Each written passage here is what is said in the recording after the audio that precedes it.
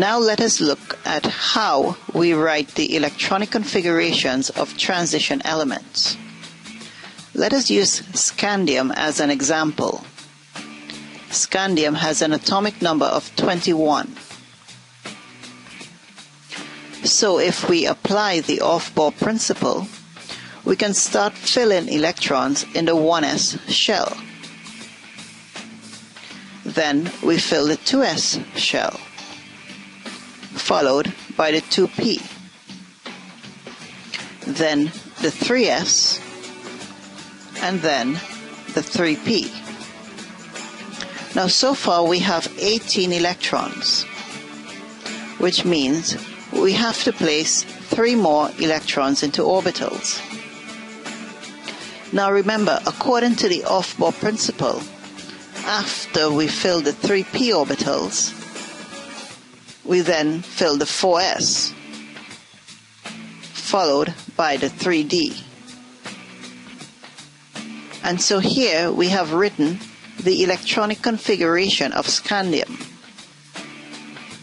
Now, to avoid writing this in a lengthy way, the core electrons can be represented using the symbol of the nearest noble gas.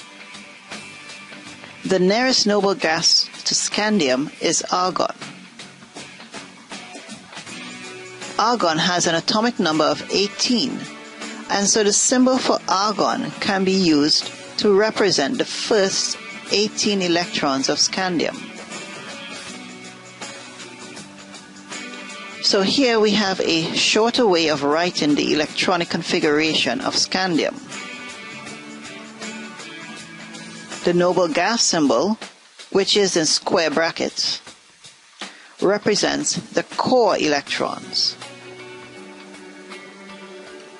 The electrons present in the 4s and 3d orbitals are the valence electrons. So in summary, for any transition element, the symbol of the nearest noble gas can be used to represent the core electrons. Another point to note is that the electronic configuration is written in the order of principal quantum numbers. Let's look at our scandium example again we had written it like this because we had filled the 4s before filling the 3d orbitals. However, the correct convention is that the orbital with a higher quantum number should go last.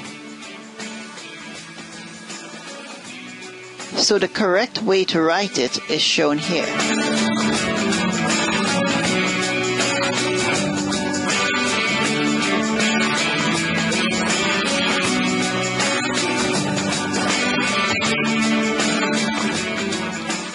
Lecture 1.3.2, I had asked you to use the Aufbau principle to write the electronic configurations of chromium, copper, and molybdenum. If you apply the Aufbau principle, you would have got their electronic configurations to be as follows.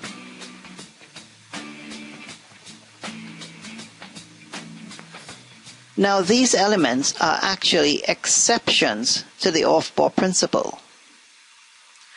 So the electronic configurations shown here are not entirely correct.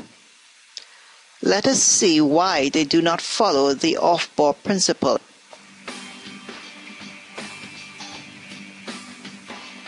Here I have represented the core electrons using the noble gas symbols.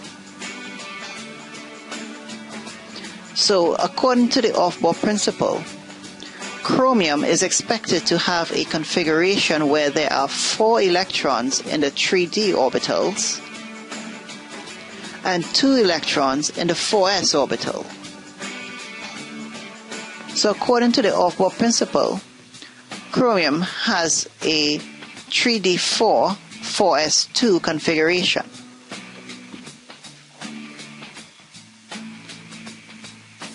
Also, copper is expected to have a 3D9 4S2 configuration.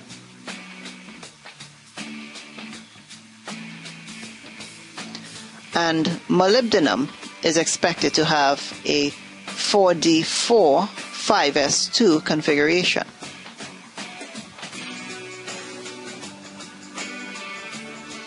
However, we have to remember that electrons would arrange themselves in orbitals in whatever way that makes the atom most stable.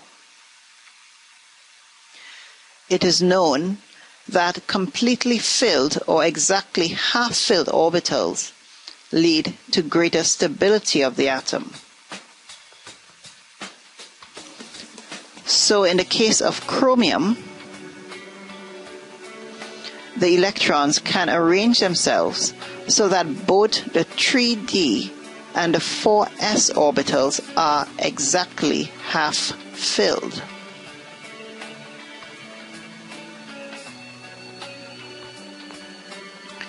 In the case of copper,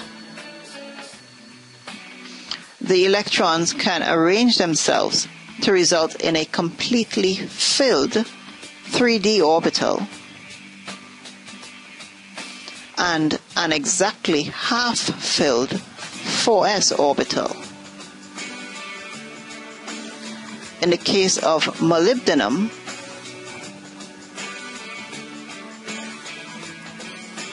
the electrons are arranged to give exactly half-filled 4d and 5s orbitals.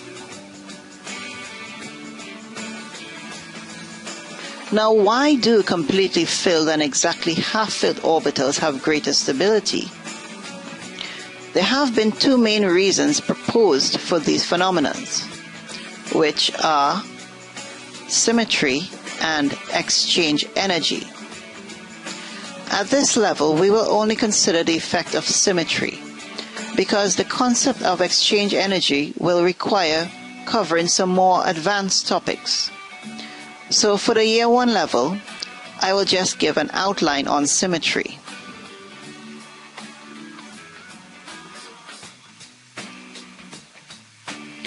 It is proposed that a symmetrical distribution of electrons lead to greater stability of the atom.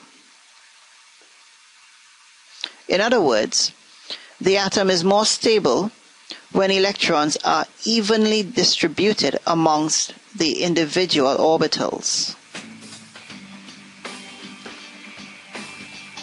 For example, according to the Aufbau principle, we expected a 3D4 4s2 configuration for chromium. Let us use the arrows and boxes diagram to get a picture of this arrangement of electrons. So the boxes represent the orbitals and the arrows inside them represents the electrons. The electrons in these two valence orbitals are not evenly distributed. As you can see, one of the 3D individual orbitals is empty, while the others are half filled. The 4s orbital has two electrons. This arrangement of electrons amongst the, four, the 3d and the 4s orbitals is considered to be unsymmetrical because the electrons are not evenly distributed amongst these two orbitals. If instead we took one electron from the 4s and placed it in the empty 3d orbital, then the electrons would be distributed more evenly amongst the valence orbitals. So a symmetrical distribution is proposed to make the atom more stable as compared to an unsymmetrical distribution. The same rationale can be applied to explaining the actual conf- electronic configurations of copper and molybdenum.